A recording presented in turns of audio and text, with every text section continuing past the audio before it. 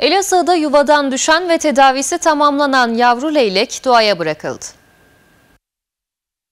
Edinilen bilgiye göre Karakoçan ilçesinde yavru bir leylek yuvadan düştü. Yavru leyleği fark eden Avcılar Dernek Başkanı Faruk İnce ilk olarak leyleği tedavi ettirdi. Tedavisi tamamlanan leylek tekrar doğal ortamına bırakıldı. Öte yandan Alacakaya ilçesine bağlı Esenlik köyünde yaşayan İdris Arıkan, evinin balkonunda yeşil rengiyle dikkat çeken büyük bir çekirge fark etti.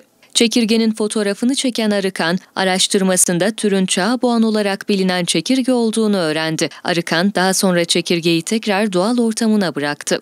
Ayrıca Türkiye'de nesli tükenen türler arasında kırmızı listede bulunan ve yaşam alanlarının genişletilmesi için çalışmalar yürütülen geyik böceği de Alacakaya'da görüntülendi.